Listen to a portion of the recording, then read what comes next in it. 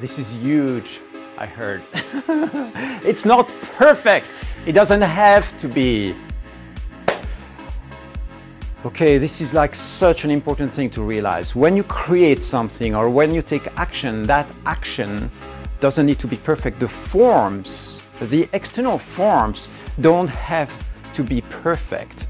The place where you will feel a sense of perfection and achievement is in an internal energetic alignment. Then you might create something that you look at it and you say, well, it's imperfect physically. This is the nature of life, it's the nature of existence. Trying to aim for perfection in everything that you do, there's nothing wrong with that, but realize that it takes lots of stress and lots of time.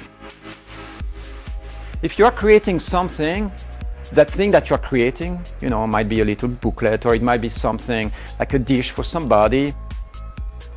Just making it good might take you an hour or two. Making it perfect might take two weeks. Okay? So good is like being in this 80% range. Perfect is aiming for 100% perfection. So if you are a perfectionist, realize that this is might be bringing lots of stress in your system. So if you relax and you don't have to eat in a perfect restaurant, the food that you prepare doesn't need to be perfect in taste, all the ingredients, everything. The things that you are creating in your business also don't need to be, to be perfect. If you are developing a website, for instance, I have lots of friends who are in that zone, are trying to create the perfect website, the perfect image. But the thing is that, uh, you know, yeah, some people care, but most don't. They don't care.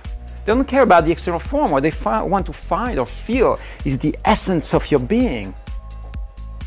So you are not perfect. You don't need to be as a human being. You're allowed to have imperfections. You're allowed to be human. This is what it means to be human. So if you're on a, on a date with somebody and you feel like you messed up, that you said something that was inappropriate, just apologize and move on. I'm like, well, yeah, I was a bit tired. I don't know why I said that. Sorry I offended you. I'm not perfect. I'm human. You're allowed to forgive yourself for that, whether it's inside of you for the things that you do or the things that you create. Allow it. It's not perfect. It's not meant to be.